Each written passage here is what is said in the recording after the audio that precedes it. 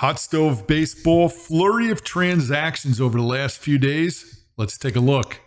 Gerrit Cole opts out of the remaining four years of his contract at $144 million with the Yanks. Paul Goldschmidt, the 37 year old seven time All Star, heading into his 15th season, 22 home runs, 65 RBIs last season. Juan Soto, no hometown discount for the Yanks, 41 109, 288 in 2024.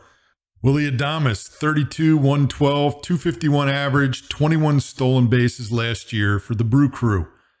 Next up, Teoscar Hernandez, 33 homers, 99 RBIs, 272 batting average for the Dodgers. Will the Mets keep the polar bear in his 34 home runs last year? Lowest OPS of his career at 788 in 2024. Two big holes right now for the Orioles. Corbin Burnes, 15 and 9, 181 Ks over 194 innings. And Tony Taters with his 44 home runs, 102 RBIs, both free agents. And last, we have Alex Bregman, 26 home runs, 75 RBIs, had a 768 OPS last season, batting 260. And there you have it. A ton of movement so far in this early hot stove season.